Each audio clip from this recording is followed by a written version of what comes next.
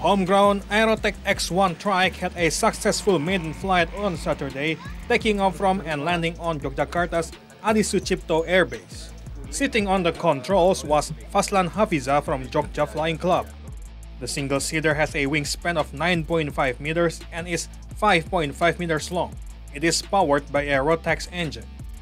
Base Commander Air Commodore Dedi Susanto said the aircraft boasts 85% local components. Only the engine and some navigational equipment are imports. Komponen yang kita gunakan ini di atas 85% adalah produk lokal ya. Jadi memang mungkin saat ini yang kita belum bisa buat hanya engine, engine saja. Ini sebenarnya engine itu kalau kita mau sebenarnya kita buat bisa dengan uh, teknologi CNC sekarang itu ya kita jiplak gitu kita sangat bisa kemudian kita bisa tentukan tapi kan itu melanggar uh, paten dan segala macam.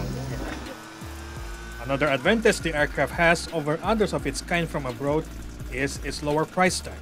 SEA Today contributor reporting from Yogyakarta.